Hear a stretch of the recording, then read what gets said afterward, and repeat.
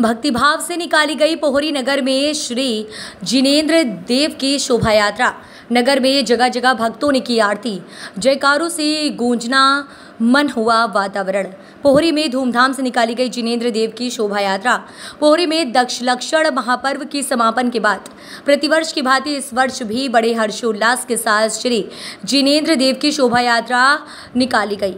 आपको बता दें कि जैन समाज के हितेश जैन ने बताया कि सुबह आदिनाथ दिगंबर जैन मंदिर पर जिनेन्द्र देव का अभिषेक शांतिधारा सहित पूजन के बाद श्री जिनेन्द्र देव की शोभा यात्रा निकाली गई। सुबह से ही मंदिर में भक्तों का तांता लगना शुरू हो गया।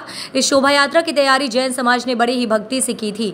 भगवान को रथ में सवार करके भक्तों ने नगर में शोभा यात्रा शुरू की। सुबह ग्यारह बजे से जिनेन्द्र देव की शोभा यात्रा आदिनाथ दिगंबर जैन मंदिर से प्रारंभ हुई। शोभा यात्रा नगर के जल मंदिर रोड पर पहुँची, जहाँ जहाँ पर प्रतिवर्ष की भांति इस वर्ष भी कलश आरती व फूलमाला की बोलियाँ लगाई गई। शोभा यात्रा नगर के मुख्य मार्गों से होते ही बड़े ही धूमधाम से मैन चौराहा पहुँची। नगर में भक्ति, भक्त झूम झूम के नाच रहे थे, भगवान के जयकारे लगा रहे थे।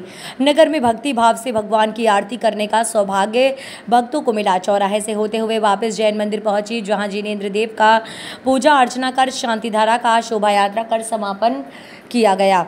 शिवपुरी से बैंड बाजे द्वारा भी जैन के भजनों पर शानदार प्रस्तुति दी गई।